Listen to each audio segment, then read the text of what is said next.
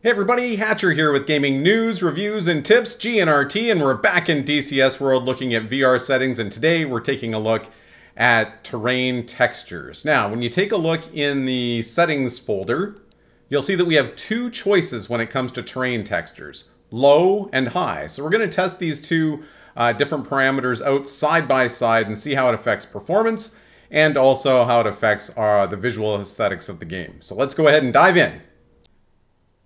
So we have the low settings on the left-hand side, and then side-by-side -side comparison, we have the high settings on the right-hand side. And I tested this on the same multiplayer server in three different scenarios. On the airfield, uh, in flight over the airfield and some forested area, and then on the aircraft carrier.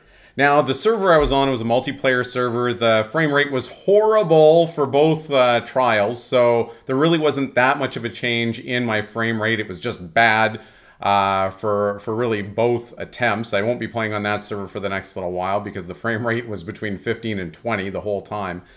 Um, and then as far as how the game looked visually, honestly, there wasn't that much of a difference. So first and foremost, I don't think there was much of an impact on the frame rate.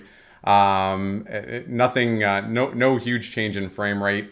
And when you looked at the visuals of the game, again, not too much of a difference. On the high settings, things maybe look just a little bit crisper, but I don't think you would notice uh, much of a difference. So if you're really, really pushed for uh, frame rate, you might want to turn this to low, but I really don't think this has much of an impact on your performance or uh, on your experience in the game. Anyway, hope you enjoyed this video. If you did, subscribe or give me a like, leave a comment down on the bottom, and hopefully we'll see you in game. Enjoy DCS World.